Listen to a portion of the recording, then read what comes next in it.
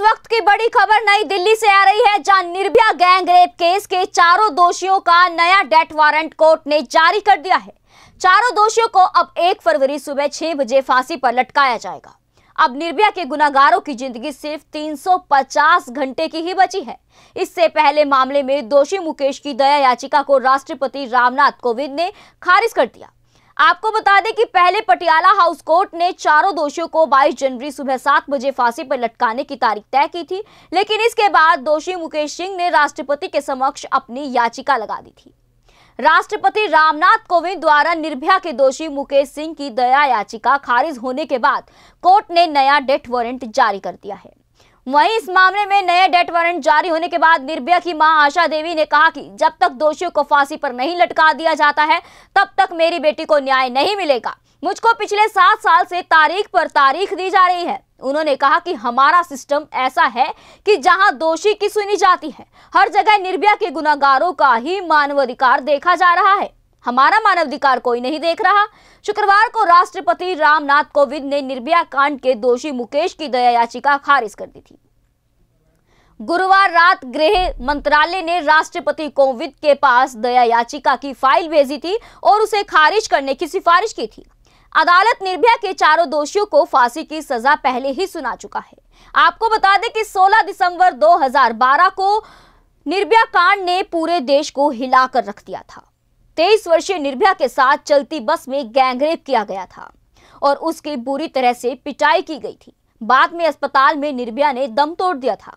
इसके बाद दिल्ली पुलिस ने मामले में छह लोगों को गिरफ़्तार किया था, जिनमें से एक नाबालिग था। नाबालिग को किशोर अदालत के समक्ष प्रस्तुत किया गया, जबकि राम सिंह ने तिहाड़ जेल में फांसी लगाकर खुदकुशी कर ली थी। इसके अलावा बाकी चार दोषियों को फांसी की सजा सुनाई गई है। चुनावी मुद्दा बनाकर राजनीति करना चाह रहे हैं। ये तो पिछले दिनों दो दिनों में आपने देख ही लिया सिद्ध हो गया। उनके पास और कोई मुद्दे नहीं है। निर्भया के मुद्दे को लेकर चुनाव लड़े जा रहे हैं। अब इस मामले में आगे क्या करेंगे आगे हमें जेल से डॉक्यूमेंट जैसे मिलेंगे हम उसके बाद क्योरिटी पिटीशन और जो भी आगे का प्रोसेस हो क्योंकि इसमें किसी एक क्योरिटी मर्सी पिटीशन के डिसमिस होने से इसलिए फ़र्क नहीं पड़ता। हमारी ग्राउंड अलग है। घटना के दिन अक्षय अपने गाँव में था। पवन म्यूजिकल प्रोग्राम में था विनय म्यूजिकल प्रोग्राम में था सबकी अलग अलग ग्राउंड है अलग अलग फैक्ट है इस आधार पर हम क्योरिटी पिटिशन फ़ाइल करेंगे। सुप्रीम कोर्ट पवन की एज को लेकर हमारी एसएलपी सुप्रीम कोर्ट में पेंडिंग है जिसमें साफ़ तौर पर स्कूल सर्टिफिकेट है कि घटना के दिन पवन नाबालिग था और जब स्कूल सर्टिफिकेट हो। तो हो चुकी है हम आपसे स्कूल- पूछ रहे हैं। हम आपकी दलीलों के बारे में पूछ रहे एसी एबीसी हम पूछे आपके पास ऑप्शन क्या क्या ऑप्शन हमारे पास पवन की एसएलपी है वो डिसाइड होनी है। दिल्ली हाई कोर्ट में रोबरी वाला केस सतहत्तर बटा सत्रह डिसाइड होना है।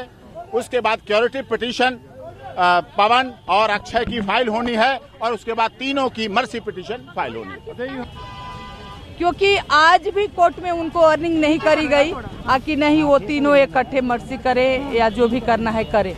क्योंकि उनके वकील तो अलग अलग हाई कोर्ट में सुप्रीम कोर्ट में केस कर रहे हैं। तो मुझे नहीं लगता है कि 22 को टल गई 22 फरवरी को होगा या हमारे ही से फिर डेट ही आएगी। तो मुझे नहीं लगता है कि जी आप ऐसे इतनी परेशान हो रही है इस बीच में राजनीतिक जो खबरें आ रही है कि आप राजनीतिक पार्टी में शामिल हो रही है इस तरीके की खबरें आ रही है क्या कहना चाहेंगे मैं इस पे कुछ नहीं कम मेरे इस पे कोई लेना देना नहीं है कौन क्या चला रहा है क्या कर रहा है मुझे इससे कोई मतलब नहीं है। मैंने हमारी बेटी की सात साल पहले हत्या हुई थी उसके साथ क्राइम हुआ था। मैंने उस उसके लिए आवाज़ उठाई थी उस क्राइम के खिलाफ आवाज़ उठाई थी और आगे भी उठाऊँगी। लेकिन राजनीतिक पार्टियाँ एक दूसरे पर आरोप प्रत्यारोप मढ़ रही है चाहे केंद्र सरकार हो राज्य सरकार हो और उसके बाद अब एक बार से आपका भी नाम आ गया कि आप कांग्रेस में शामिल हो रहे हैं। मुझसे उससे कोई लेना देना नहीं। कौन क्या कर रहा है मुझे नहीं लेना। मेरे मेरे बेटी के साथ क्राइम हुआ।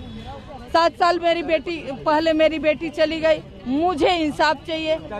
बाकी और किसी से मतलब नहीं उम्मीद उम्मीद थोड़ी कम हो रही है अब? नए डेथ वारंट जारी होने के बाद?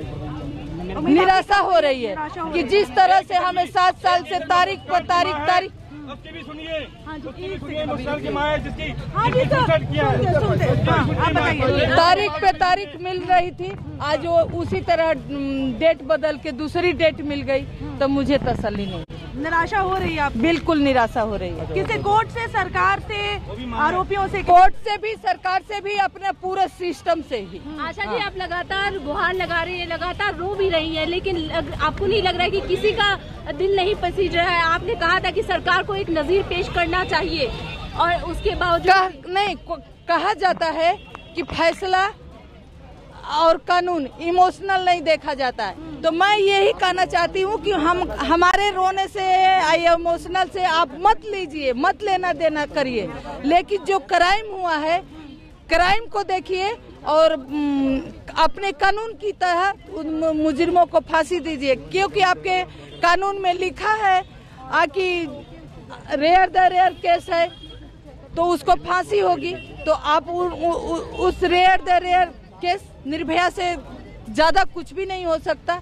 तो आप वो अगर उनको फांसी दिए हैं वो मुजरिम है तो जल्द से जल्द उनको फांसी दी। जेबीडी बैंक लाए हैं। Incredible marriage palace Rajgharana and the finest bank hall Jyoti garden world class catering century air condition lush green lawns state of the art lightning a perfect venue for wedding launching and parties Rajgharana and Jyoti garden and JBD bank enterprise ऐसे ही latest खबरें पाने के लिए bell icon को click कर हमारे channel को लाइक शेयर एंड सब्सक्राइब करें। धन्यवाद।